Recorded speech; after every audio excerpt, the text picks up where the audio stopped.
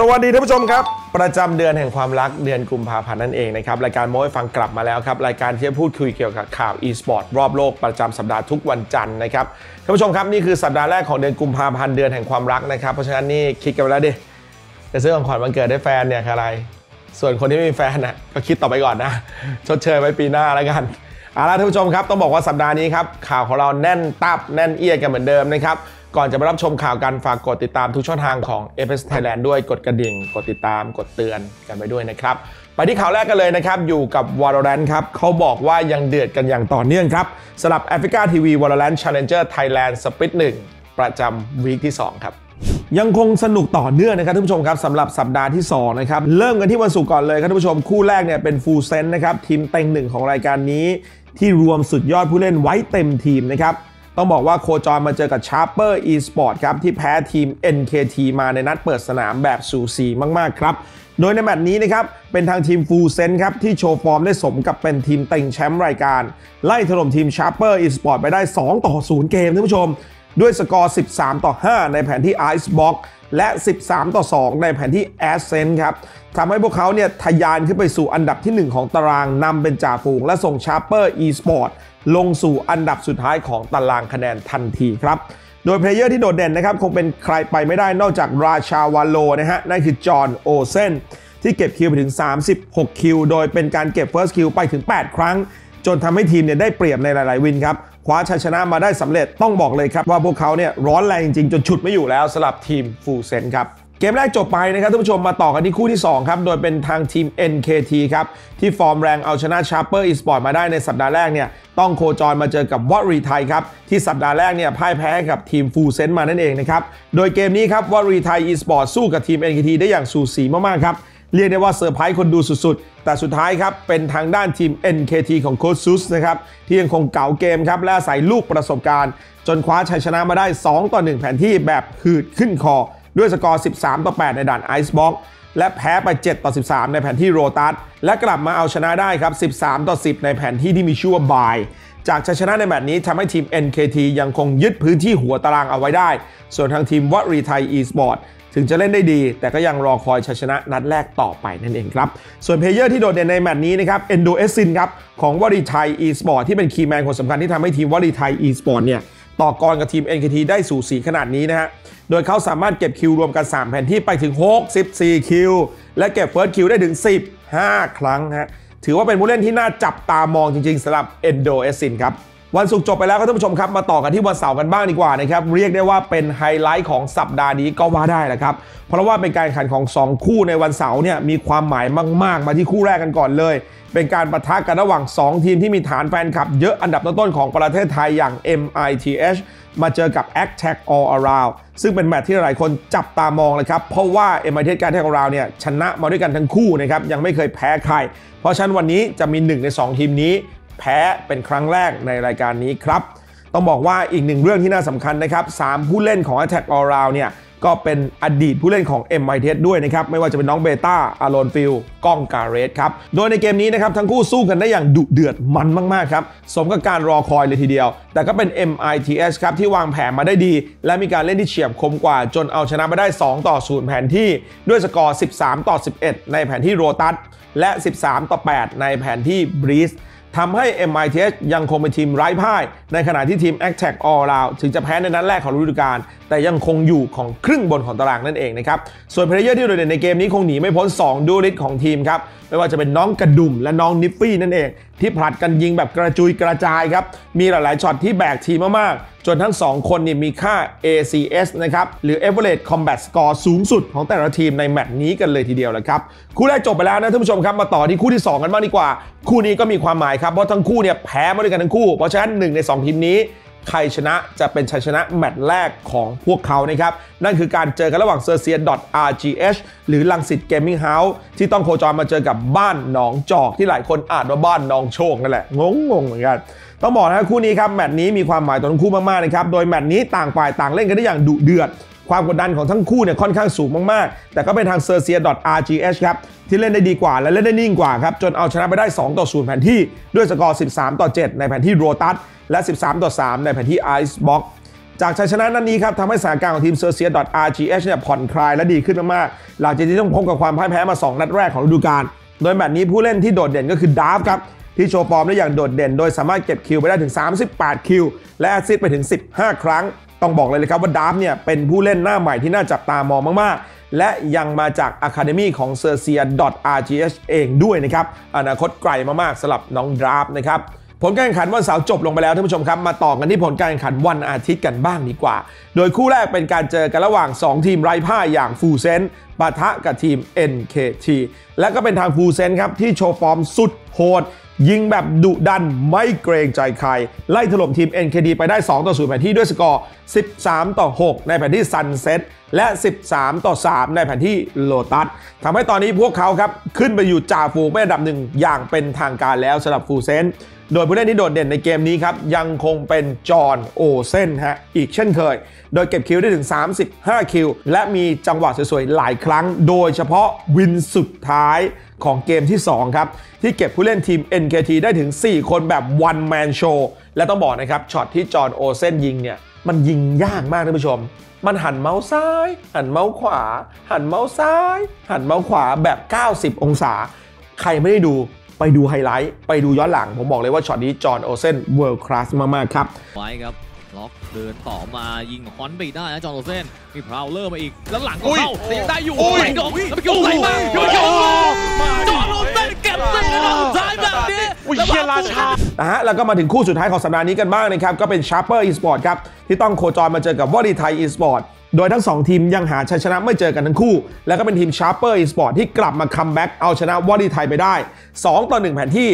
โดยที่ Sharper เนี่ยแพ้ไปก่อน 9 ต่อ 13 ในแผนที่บาย ก่อนจะมาพลิกสถานการณ์ชนะ 2 map รวดครับ ด้วยสกอร์ 15 ต่อ 13 ในแผนที่โรตัส และ 13 ต่อ 10 ในแผนที่ Ascent นั่นเอง ซึ่งทำให้พวกเขาเนี่ยปลดล็อกคว้าชัยชนะนัดแรกมาได้สำเร็จ โดย player ที่โดดเด่นก็คือ PR นะครับ ผู้เล่นตำแหน่ง controller ของทีม Sharper Esport ที่เก็บ kill รวมได้ทั้งหมด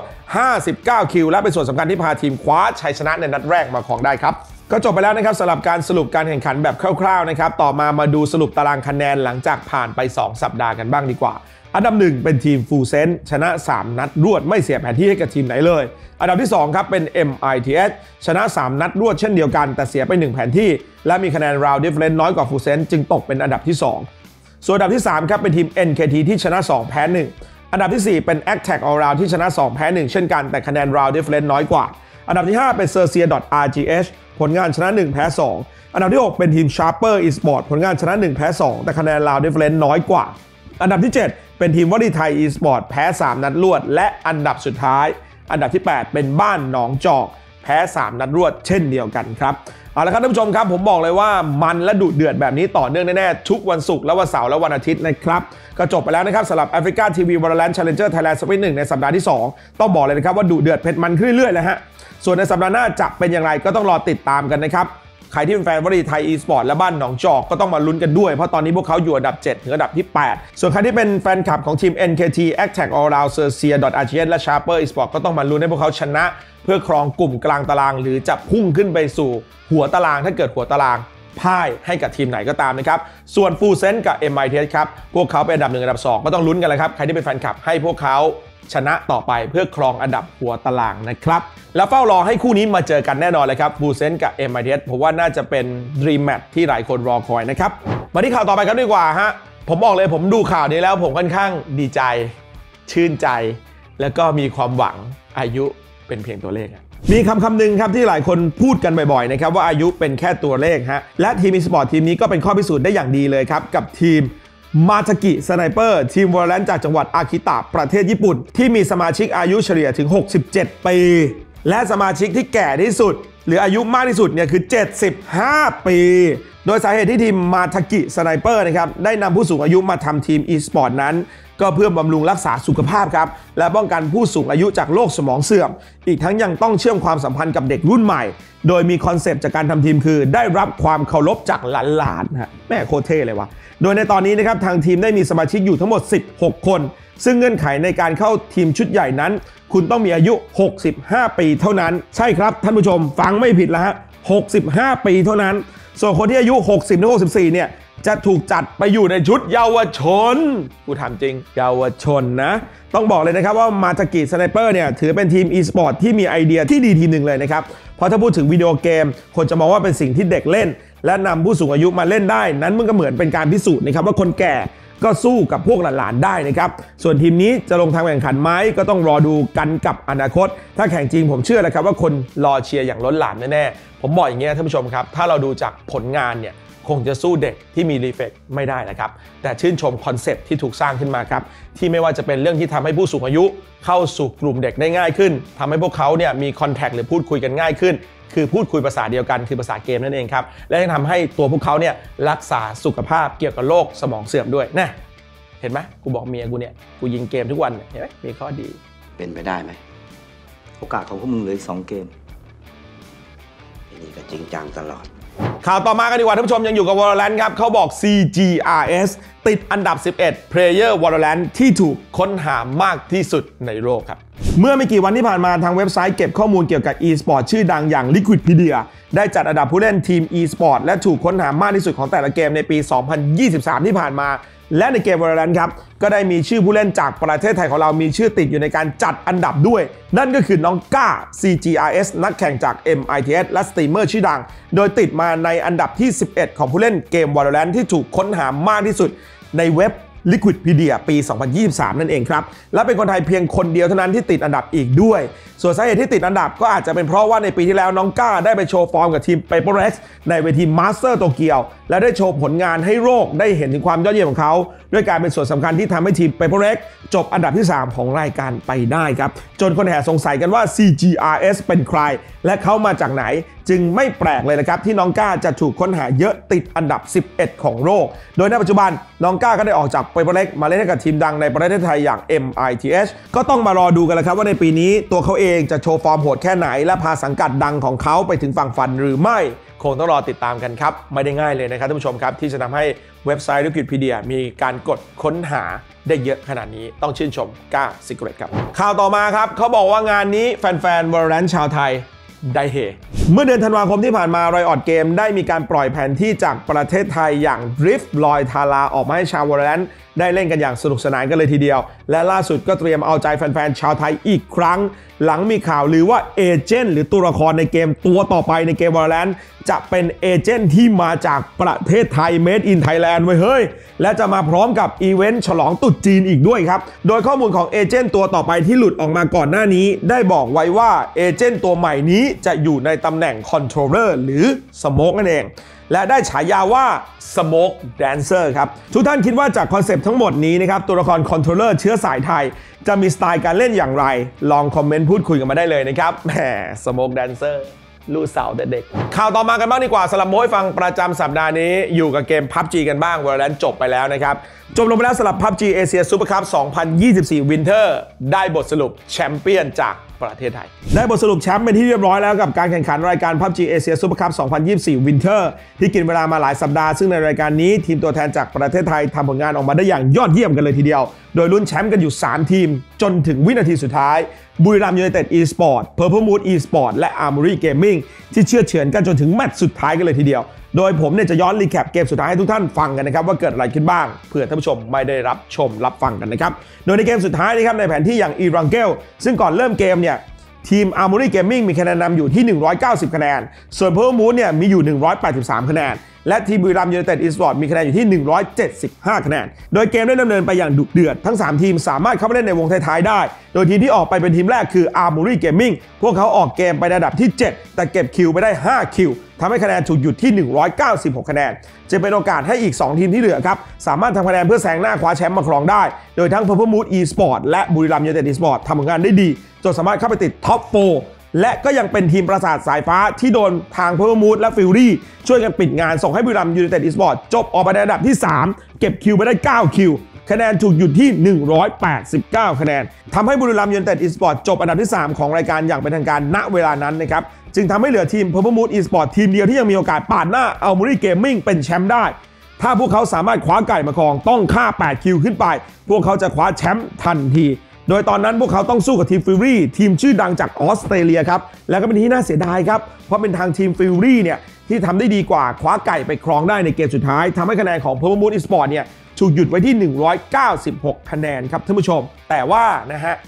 คะแนน 190 คะแนนเนี่ยมันดันไปเท่ากับ Armory Gaming ครับ จึงต้องมาวัดกันที่ Placement Point ครับ เป็น Armory Gaming ครับ ที่ Placement Point ทำได้ดีกว่า จึงคว้าแชมป์รายการนี้ไปครองได้สำเร็จ และรับเงินรางวัลไปทั้งสิ้น 20,000 เหรียญ US ดอลลาร์หรือประมาณ 710,000 บาทไทยกันเลยทีเดียว ส่วนทีมตัวแทนจากประเทศไทยที่เหลืออีก 3 ทีมนะครับ Q Confirm ทีรทรไฟและ FW Esport พวกเขาก็ทำผลงานออกมาได้อย่างยอดเยี่ยมไม่แพ้อีก 3 ทีมเลยครับ โดยทาง Q Confirm จบอันดับที่ 6 ทำคะแนนไป 159 คะแนน ตามมาด้วยทีรทรไฟจบอันดับที่ 7 ทำคะแนนไปได้ 157 คะแนน และ FW Esport จบอันดับที่ 10 ทำคะแนนไปได้ 130 คะแนนยังไงก็ตามนะครับฝากเป็นกำลังใจให้กับทีมไทยทุกทีมที่เข้าร่วมการแข่งขันในครั้งนี้ด้วย ทุกๆทีมสุดยอดมากๆ สู้ได้อย่างสมศักดิ์ศรีทุกทีมจริงๆ คงต้องรอติดตามกันนะครับหลังจากนี้ครับไม่ว่าจะเป็นทีมไหนก็ตามนะครับ Armory Gaming จะสารต่อความสำเร็จ และฟอร์มอันยอดเยี่ยมในรายการนี้ได้หรือไม่ รวมไปถึงทีมอื่นๆ อย่าง FW Theerathon Five บุรีรัมย์ยูไนเต็ด e-sport หรืออื่นๆ จะทำผลงานเป็นอย่างไร ก็รอติดตามกันได้ใน PTS หรือ PUBG Thailand Series 2024 phase ที่ 1 ในเร็วๆ นี้นั่นเองครับ ข่าวต่อมาสำหรับโม้ให้ฟังครับ ไปที่ MOBA กันบ้างสำหรับ ROV เทศกาลโปรลีกกลับมาแล้วครับ ในวันแรกของการแข่งขัน ROV Pro League 2024 Summer นัดเปิดสนามคู่แรกระหว่าง eArena ทีมอันดับที่ 8 จากฤดูกาลที่แล้วครับ ต้องโคจรมาเจอกับ Full Sense นะฮะทีมน้องใหม่ที่เพิ่งเข้ามาแข่งขันในรายการ ROV Pro League ซีซั่นแรกนะฮะเท้าความกันนิดนึงนะครับ eArena เนี่ยมีการเปลี่ยนแปลงผู้เล่นแบบยกชุดจากซีซั่นที่แล้ว ได้แกนหลักจากทีมวาเลนเซีย CF Esport ชุดรองแชมป์ AIC 2023 เข้ามาถึง 4 คน ส่วน Full Sense นำโดยกัปตันมากประสบการณ์อย่างแฮปปี้และโค้ชโทนี่อดีตผู้เล่นของ Talon นั่นเองนะครับ นัดเปิดสนามครับกระต่ายคลั่งที่มีทีมเวิร์กเก่าเป็นทุนเดิมอยู่แล้ว โชว์ฟอร์มได้ดีกว่าครับ เก็บ 2 เกมแรกไปแบบสบายๆ แต่เกมที่ 3 FULL SENSE กระเตื้องขึ้นครับ ปรับทัพในตำแหน่งป่าครับ ส่งซินเดอเรลล่านะครับที่ไม่ต้องกลับบ้านตอนเที่ยงคืนเนี่ยลงแทนแฮปปี้ฮะและสามารถแก้เกมคืนมาได้ ไล่ขึ้นมาเป็น 1 ต่อ 2 เกม หลังจากนั้นทั้ง 2 ทีมสู้กันอย่างสุดมัน ก่อนจะจบไปด้วยชัยชนะของ e a r e n a คว้าแต้มแรกไปก่อนด้วยสกอร์ 3 ต่อ 1 เกมครับ ในนัดถัดมาครับบุรีรัมย์ยูไนเต็ดอีสปอร์ตทีมอันดับที่ 4 จากฤดูกาลที่แล้ว เปิดสนามพ่ายกับ PSG Esport ทีมอันดับที่ 6 จากซีซั่นที่แล้วครับไปอย่างดุเดือดด้วยสกอร์ 3 ต่อ 2 เกม สู้กันแบบ5เกมเต็มๆแบบตึงจัดครับท่านผู้ชมฮะ ส่วนอีกคู่หนึ่งครับท่านผู้ชมครับ ที่ทุกคนรอคอยนะครับ นั่นก็คือ Bacon Time เจอกับ Hydra อีสปอร์ตและเป็นการเปิดตัวผู้เล่นคนใหม่นะครับ อย่างเอเรสหรือน้องเต้ carry คนใหม่ที่เข้ามาเล่นแทนน้องหมูหวานที่ตัวเองขยับไปเป็นแบรนด์อ b บ s สเดอร์หรืออินฟลูเอนเซอร์ของ Bacon Time นั่นเองนะครับ แมตช์นี้ครับเอเรสลงประเดิมสนามได้อย่างสวยงาม พาทีม Bacon Time ครับแซงเอาชนะ Hydra อีสปอร์ตไปด้วยสกอร์ 3 ต่อ 1 เกม คว้าชัยในนัดเปิดสนาม ROV Pro League 2024 Summer และคว้า MVP ไปถึง 2 จาก 3 เกมที่ชนะ ถือว่าเป็นการเปิดตัวที่ได้ใจแฟนๆเบคสุดๆแหละครับถัดมาในวันที่ 2 ของการแข่งขัน King of Gamers Club พบกับ PSG eSports เริ่มต้นมาครับ KOG ขึ้นนำไปก่อน 2 ต่อ 0 เกม แต่ PSG eSports อาศัยความฮึด สู้พลิกสถานการณ์กลับมาเป็นฝ่ายชนะ จบด้วยสกอร์ 3 ต่อ 2 เกม พร้อมกับการเก็บแต้ม 2 แต้มเต็มในสัปดาห์แรก ขึ้นไปอันดับหนึ่งของตารางคะแนนทันทีเลยครับ แมตช์ถัดมาครับ FULL SENSE ครับ ทีมน้องใหม่ออกสตาร์ทฤดูกาลได้ไม่สวยเท่าไหร่นัก เมื่อแพ้ 2 นัดติดต่อกันนะในแมตช์นี้พ่ายกับ Hydra อีสปอร์ตไปขาดลอย 3 ต่อ 0 เกม ต่อมา Talon ทีมแชมป์เก่าครับ ก็ได้ฤกษ์เปิดประเดิมสนามฤดูกาล ROV Pro League Summer 2024 นะครับ ได้อย่างร้อนแรงครับ เมื่อเอาชนะบุรีรัมย์ยูไนเต็ดอีสปอร์ตไปอย่างขาดลอย 3 ต่อ 0 เกม แม้ว่าพวกเขาจะต้องเผชิญกับการเปลี่ยนแปลงครั้งใหญ่ในซีซั่นนี้ เมื่อเอเรส carry ที่พาทีมประสบความสำเร็จมาหลายฤดูกาลย้ายออกไป แต่พวกเขาก็ได้ตัวดิบูมครับจากวาเลเซีย CF Esport เข้ามาทดแทน และสามารถทดแทนได้แบบไร้รอยต่อ โชว์ฟอร์มดีมากๆ ในการออกสตาร์ทฤดูกาลโดยเก็บไปได้ 1 MVP ด้วยนะครับยังไงก็ตามครับ ฝากติดตามเชียร์ทีมที่คุณรัก ทีมที่คุณชอบในการแข่งขัน ROV Pro League 2024 Summer กันด้วยนะครับจะต้องดูกันแบบยาวๆเลยครับ ไม่ว่าจะเป็น FULL SENSE ทีมน้องใหม่ว่าจะมีการปรับแผนปรับทัพแบบไหน หรือแม้กระทั่งทีมแชมป์เก่าอย่าง Talon ที่มีการเปลี่ยนแปลงตัว carry ดีบูมจะทำให้ Talon มาเป็นแชมป์อีกสมัยหรือเปล่า และอีกหลายทีมที่มีพัฒนาการในการเสริมทีมนะครับคงต้องรอติดตามกันต่อไปนะครับ จบไปแล้วครับสำหรับข่าวอีสปอร์ตนะครับประจำสัปดาห์นี้มาที่ช่วงที่ 2 ของรายการคือการโยกย้ายตัวผู้เล่นตลาดนักแข่งกันบ้างดีกว่า มาอยู่กับเกม Valorant กันก่อนเลย เขาบอกว่าซีรีนออกจาก FULL SENSE แบบ ฟ้าผ่าทำเอาแฟนๆช็อกกันไปตามๆกันเลยครับ หลังทีม FULL SENSE สังกัดชื่อดังของประเทศไทย ได้มีการประกาศอำลาโค้ชซีรีนแบบฟ้าผ่าครับ และได้นำเอาตัว CBBK ครับหรือน้องบุ๊คครับอดีตโค้ชของทีมกลับขึ้นมาคุมทีมอีกครั้ง หลังเคยเป็นเฮดโค้ชให้กับ FULL SENSE มาก่อนหน้านี้แล้วในปี 2022 ตัวน้องบุ๊กเองครับ CBK หลายๆคนอาจจะไม่รู้จักนะครับตัวน้องเองเนี่ยเป็น pro player Counter Strike Go มาก่อนนะครับในนาม r u c i d Dream และอีกหลายทีมนะครับต้องบอกตัวเขาเองเนี่ยถ้าเป็น achievement ส่วนตัวและประสบการณ์เนี่ยถือว่าประสบความสำเร็จอย่างมาก อันนี้เล่าให้ฟังก่อนเผื่อใครเนี่ยไม่รู้จัก CBBK นะครับโดยผลงานของทีม FULL SENSE ครับภายใต้การคุมทีมของ CBBK นั้น ตอนนี้พวกเขาโชว์ฟอร์มดีมากๆ โดยผลงานของทีม FULL SENSE ภายใต้การคุมทีมของ CBBK นะครับ ในตอนนี้พวกเขาโชว์ฟอร์มดีมากๆ ด้วยผลงานไร้พ่ายอยู่อันดับที่ 1 ของตารางการแข่งขัน AfreecaTV Valorant Challengers Thailand Split 1ผมต้องมารอชมกันต่อไปเลยครับว่าฟูลเซนในฤดูกาลนี้จะมีผลงานอย่างไร และจะคว้าแชมป์ได้หรือไม่ผมต้องติดตามรับชมไปพร้อมกันนะครับ ก็ไม่เป็นไรครับ ก็เป็นกำลังใจให้กับน้องซีรีนด้วยนะครับ แน่นอนแล้วครับ การทำทีมหรือการทำกีฬา มันก็ต้องมีการเปลี่ยนแปลงอยู่เสมอนะครับ ก็ขอให้น้องสุรินโชคดี และอวยพรให้กับ CBBK ประสบความสำเร็จกับฟูเซนครับข่าวต่อมากันบ้างกันดีกว่าสำหรับการโยกย้ายตัวเล่นเขาบอกอดีตกัปตันเซอร์เซียฮะโยกไปเล่นในอินเดีย ยักษ์นะยักษ์เอวเนี่ยช่องเจดำไปแล้วกูเมื่อวันที่ 31 มกราคมที่ผ่านมานะครับ LBY นะครับหรือ Izuke LBY คุราโอกะผู้เล่นสัญชาติไทยญี่ปุ่นนะครับ อดีต IGL ของทีมเซอร์เซีย ได้เปิดตัวซบทีม Recroning Esport ในประเทศอินเดียเป็นที่เรียบร้อยแล้ว โดยจะได้ไปร่วมงานกับโค้ชชาวไทยอย่างน้องเรนนี่ ที่เคยทำหน้าที่ Analyze อยู่ทีม MITS ก่อนหน้านี้ ก่อนย้ายไปรับงานคุมทีมแบบเต็มตัวที่ Recogning Esport ก่อนหน้านี้นั่นเองนะครับ โดยเมื่อปีที่แล้วนะครับ RBY ทำงานได้อย่างโดดเด่นภายใต้สีเสื้อชมพูดำ โดยสามารถพาทีมเซอร์เซีย ชนะรายการ Valorant Challenger 2023 Thailand ซัมมิ2จนได้สิทธิ์เป็นตัวแทนประเทศไทยไปลุยในเวที Valorant Challenger Ascension 2023 Pacific หลังจากนี้ที่การเดินทางครั้งใหม่ของ LBY ในประเทศอินเดีย จะเป็นอย่างไรฝากแฟนๆชาวไทยให้กำลังใจน้อง LBY กันด้วย ยักษ์หน้ายักษ์เอวมาที่ข่าวต่อมากันบ้างดีกว่านะครับ มาที่ข่าวเกม PUBG กับการโยกย้ายตัวผู้เล่นกันบ้างชาร์เปอร์ปล่อย ตองเคเมื่อวันที่ 3 กุมภาพันธ์ที่ผ่านมาทางทีม Sharper Esport สังกัดดังในย่านรามอินทราได้โพสต์ประกาศปล่อยตัวผู้เล่นเก่งของทีม PUBG อย่างตองเคออกจากทีมหลังจากร่วมงานกันมาตั้งแต่ปี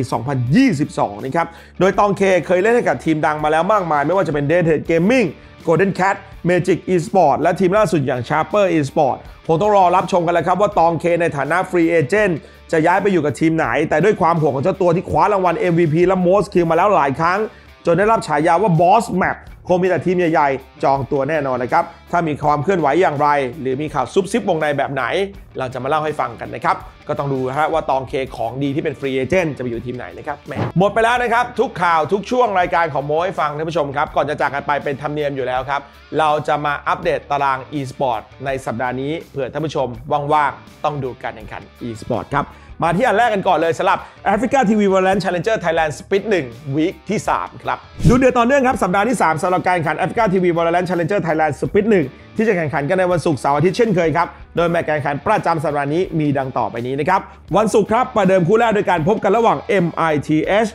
อันดับที่ 2 ของตารางต้องโคจรมาเจอกับ Sharper Esport ที่เพิ่งคว้าชัยชนะแรกมาครองได้สำเร็จ คู่ที่ 2 ครับ เป็นทางทีมฟูเซนจากฝูงของตารางครับ ต้องโคจรมาเจอกับบ้านหนองจอก อันดับสุดท้ายของตารางส่วนวันเสาร์นะครับ เปิดประเดิมคู่แรกครับ ด้วยการพบกันระหว่างทีม a c t a c All Around โคจรมาเจอกับ Sharper Esport ส่วนคู่ที่ 2 ครับ เป็นของ MiTH ที่ต้องมาเจอกับวอลลีไทย Esport ที่มีการเล่นที่น่าสนใจ แต่ยังคลำหาชัยชนะไม่เจอนะครับและปิดท้ายกันที่วันอาทิตย์ครับคู่แรกเป็นการเจอกันระหว่าง Sharper อีสปอร์ตพบกับทีมบ้านหนองจอกและปิดท้ายสัปดาห์ที่ 3 เป็นการเจอกันระหว่าง FULL SENSE ที่ต้องมาเจอกับ XERXIA .rgh ครับต้องบอกเลยนะครับว่าน่ารับชมสำหรับทั้ง 3 วันมากๆนะครับใครที่ว่างในสุดสัปดาห์นี้ก็รอรับชมกันด้วย จะเริ่มกันเวลา 6 โมงเย็นเป็นต้นไป ในช่องของ Africa TV Valorant underscore th หรือตาม Watch Party ของแพลตฟอร์ม Africa ไม่ว่าเป็น Super b u t บูมบูดาพาไวเปอร์เดมอนและก็อื่นๆ อีกหลายช่องครับ มาที่การแข่งขันนะครับสำหรับเกมโมบ้ากันบ้าง ROV Pro League 2024 Summer ยังคงแข่งขันกันต่อเนื่องสำหรับสัปดาห์ที่ 2 นะครับ ยังคงมีการแข่งขันกันอยู่ครับสำหรับ ROV Pro League 2024 Summer นะครับ จะแข่งขันทุกวันศุกร์วันเสาร์และวันอาทิตย์นะครับ ซึ่งวันศุกร์ครับ จะเริ่มต้นเวลา 6 โมงเย็นเป็นต้นไปนะครับ เริ่มต้นคู่แรกกันที่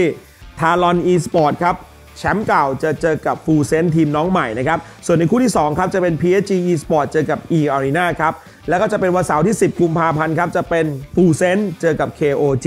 และบุรีรัมย์ยูไนเต็ดอีสปอร์ตจะเจอกับ Bacon Time ส่วนวันที่ 21 กุมภาพันธ์ครับ จะมี 3 คู่ด้วยกันนะครับ คู่แรกจะเป็น E Arena เจอกับ KOG คู่ที่ 2 ครับจะเป็นปราสาทสายฟ้าบุรีรัมย์ยูไนเต็ดอีสปอร์ตเจอกับ Hydra Esport ครับ และคู่สุดท้ายในวันอาทิตย์ที่ 11 กุมภาพันธ์ดาร์บี้แมตช์ครับ Bacon Time เจอกับ Talon Esport นั่นเองครับ อย่าลืมติดตามรับชมการแข่งขันนะครับ ในรอบเก็บคะแนนที่มีต่อเนื่องยาวๆไปจนถึงวันที่ 24 มีนาคม แข่งกันทุกวันศุกร์เสาร์อาทิตย์ติดตามกันไปยาวๆเลยครับ แล้วมาลุ้นกันนะครับว่าทีมไหนจะคว้าเงินรางวัล 6 ล้านบาทไปครองในซีซั่นนี้ สามารถรับชมนะครับได้ที่ Facebook และ YouTube ของ g a r e n a OV Thailand นะครับและเย็นนี้นะครับตอนที่เราลงคลิปท่านผู้ชมครับในใต้คอมเมนต์นะครับเราจะมาอัปเดตนะครับสำหรับสัปดาห์แรกนะครับเพราะเฉพาะสัปดาห์แรกเท่านั้น มันเป็นเป็นการแข่งขันวันเสาร์อาทิตย์และวันจันทร์ครับ น่าจะเป็นตารางที่อาจจะไม่ว่างกันของทีมงาน Garena นะครับ ก็จะเป็นแมตช์ของ Bacon Time ต้องเจอกับ E Arena นะครับ สกอร์จบเท่าไหร่ ใครจะชนะเดี๋ยวจะมาอัปเดตในคอมเมนต์นะครับ ท่านผู้ชม